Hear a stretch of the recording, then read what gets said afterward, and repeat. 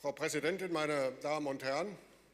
Auch ich möchte mich zum Beginn dem allgemeinen Dank anschließen an die Expertinnen und Experten, an die Mitarbeiterinnen und Mitarbeiter des Abgeordnetenhauses und der Fraktionen und an den Vorsitzenden der Enquetekommission. Ich schließe mich dem Lob für seine Verhandlungsführung an und dass er von Anfang an durchgesetzt hat, dass in dieser Kommission nicht entlang von Koalitions- oder Fraktionsgrenzen diskutiert wurde, sondern entlang der Sache. Anders hätten wir dieses Ergebnis in dieser Form nicht zustande gebracht.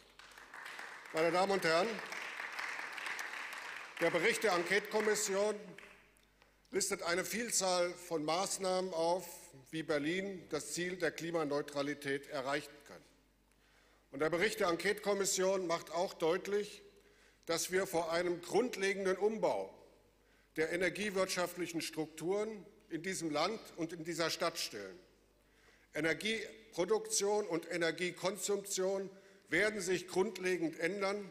Es wird nicht mehr so sein wie in der Vergangenheit, dass wir aus großen zentralisierten Kraftwerken den Strom beziehen, sondern wir werden eine Vielzahl von Akteuren haben. Und ich sage an dieser Stelle auch aus dem Bericht der Enquetekommission ergibt sich, dass die Geschäftsmodelle der großen alten fossilen Energieversorger nicht mehr funktionieren werden, dass sie obsolet sind. Und aus der Tatsache, dass wir in den letzten Tagen von allen Energieversorgern große Wertberichtigung und Abschreibung mitgeteilt bekommen haben, zeigen, dass das Ende dieser fossilen Sauriere zu Ende geht, meine Damen und Herren.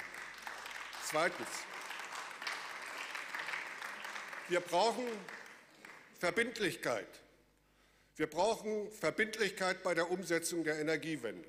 Denn im Land Berlin, das wissen wir alle, liegt es nicht an einem Mangel an Papier, sondern es liegt an einem Mangel an Verbindlichkeit und Konsequenz in der Umsetzung. Und deshalb hat die Enquetekommission hier auch klare Mechanismen vorgeschlagen, nämlich dass zu Beginn einer jeden Legislaturperiode ein klarer Maßnahmenplan verabschiedet wird, dass der auch verbindlich gemacht wird und dass er auch kontrolliert wird in der Umsetzung und wenn eine Maßnahme ausfällt, er durch eine andere Maßnahme ersetzt werden muss. Und ich glaube, dass die Tatsache, dass wir diesen Bericht jetzt hier fraktionsübergreifend bei den 97 oder 95 Prozent verabschiedet haben, eine gute Grundlage ist, eine solche Verbindlichkeit herzustellen. Aber, meine Damen und Herren, wir können auch in dieser Legislaturperiode noch einiges tun. Der Bericht formuliert unter anderem die Vorreiterrolle der öffentlichen Hand. Wir wissen alle, dass da vieles im Argen liegt. Und wir wollen bis zum Jahre 2030 eine klimaneutrale Verwaltung erreichen. Und der Kollege Schäfer hat es schon gesagt, das verlangt Investitionen. Und die Gelegenheit für Investitionen besteht mit diesem Landeshaushalt. Und es gibt Anträge für diesen Landeshaushalt, für die Energiewende, für die Umsetzung der energetischen Sanierung zusätzliche Mittel bereitzustellen. Und das wird ein Prüfstein sein, ob das, was wir fraktionsübergreifend als gute Absicht formuliert haben, ob sich das auch in diesem Haushalt in der Tat wieder sieht. Und liebe Kolleginnen und Kollegen von der Koalition und von der SPD, das wird sich nicht nur darin ausdrücken, ob man einen Merkposten von 1.000 Euro einsetzt, sondern ob man einen wirklichen, als Beginn einen zweistelligen Millionenbetrag einsetzt. Deshalb meine, ein Appell an dieser Stelle, den Worten müssen jetzt auch Taten folgen. Wo wiederum Taten folgen müssen, ist beim Thema Stadtwerk. Die Enquetekommission formuliert für das Stadtwerk umfassende Aufgabenstellungen. Aufgabenstellungen, die auch wieder Investitionen, die Eigenkapital bedürfen und die vor allen Dingen bedarf, Sie haben es schon angesprochen, dass die gesetzlichen Restriktionen, die durch einen irrationalen Koalitionskompromiss zustande gekommen sind, endlich aufgehoben werden. Eine riesige Mehrheit in diesem Haus will, dass dieser Zustand aufhört, dass dieses Stadtwerk nur ein Bonsai-Stadtwerk ist. Und wenn der Kollege Buchholz jetzt auch einen Stromliefervertrag mit diesem Stadtwerk hat, da muss man dazu sagen, das ist gegenwärtig Bückware. Die dürfen dafür nicht werben, das kann man nur unterm Ladentisch erwerben. Ich will aber, dass dieses Stadtwerk bekannt ist allen Berlinerinnen und Berlinern und dass jeder Berliner und Berliner hier einen Vertrag bekommen haben. Und deshalb muss diese gesetzliche Restriktion weg, meine Damen und Herren. Und eine weitere wichtige Erkenntnis dieser Enquetekommission ist die Tatsache, dass wir in der Energiezukunft ein zunehmendes Zusammenspiel von Strom, Gas und Fernwärme einschließlich der Nahwärmenetze haben werden. Wir werden eine Situation haben, wo wir zunehmendem Maße erneuerbaren Überschussstrom haben, den wir nutzen für die Produktion von Wärme im Rahmen von Power to Heat, womit Überschussstrom kurzzeitig zwischengespeichert werden kann. Wir werden zukünftig eine Situation haben, wo Überschussstrom genutzt wird, um, äh, über, um äh, Gas zu erzeugen durch die Power-to-Gas-Technologie und das Gasnetz darüber auch zu einem Gasspeicher wird von, von erneuerbarem Gas und damit auch die Möglichkeit besteht, dann auch dezentrale Anlagen zu befeuern. Meine Damen und Herren, das macht deutlich, diese verschiedenen Medien konvergieren, sie wachsen zusammen und deshalb haben wir auch die Schlussfolgerung gezogen, wir brauchen einen integrierten Netzbetrieb perspektivisch für Strom, Gas und Fernwärme und aus einer Hand. Und ich sage, ein solcher integrierter Netzbetrieb kann nur in kommunaler Hand integriert werden, meine Damen und Herren. Und deshalb war ich doch sehr erstaunt über den, naja, erstaunt nicht, man musste es befürchten, über den Senatsbeschluss äh, vom letzten Dienstag.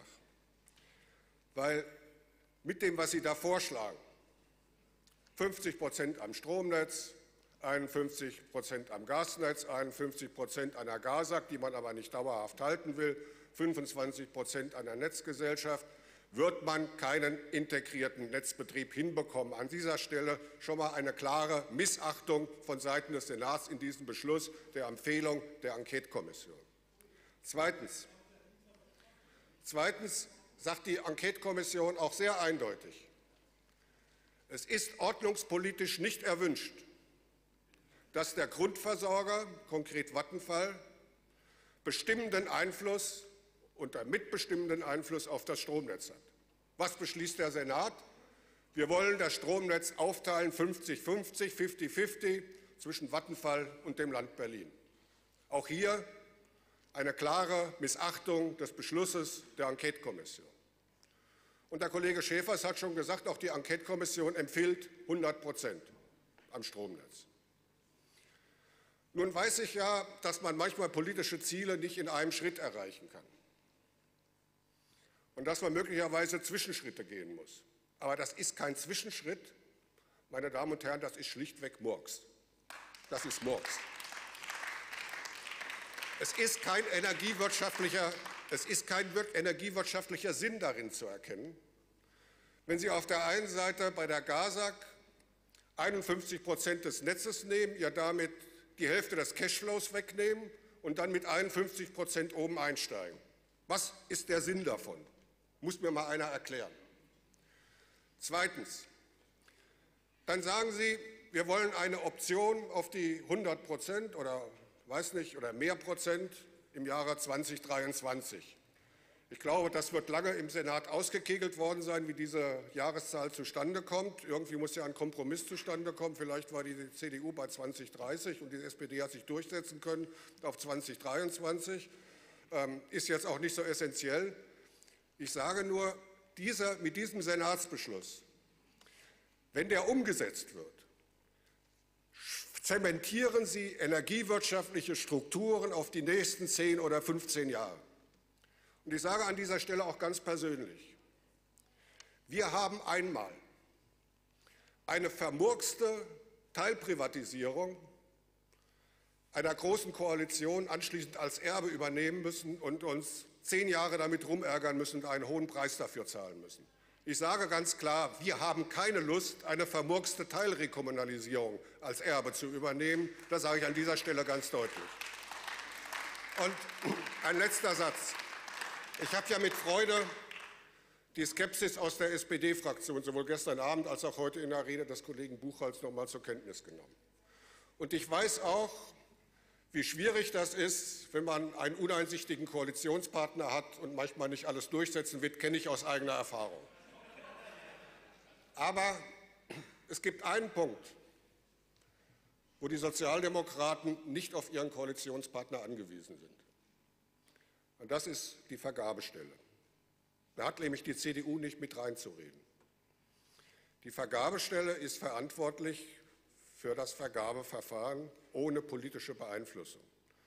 Und wenn die Vergabestelle zu der Erkenntnis kommen würde, dass es geboten ist, zur Herstellung des von dem Energiewirtschaftsgesetz geforderten Wettbewerbs und geboten ist aufgrund der rechtlichen Fehler, die gemacht worden sind im Stromnetzverfahren, dieses Verfahren auf Null zurückzusetzen und dann auch die Möglichkeit zu nutzen, Berlin Energie bieterfähig auszustatten und als Unternehmen aufzustellen und damit auch die eigene Verhandlungsposition gegenüber Vattenfall zu stärken. Das wäre eine Entscheidung, die die Sozialdemokraten mit ihrer Finanzverwaltung aus eigener Kraft treffen könnten, ohne einen Koalitionspartner dafür zu brauchen.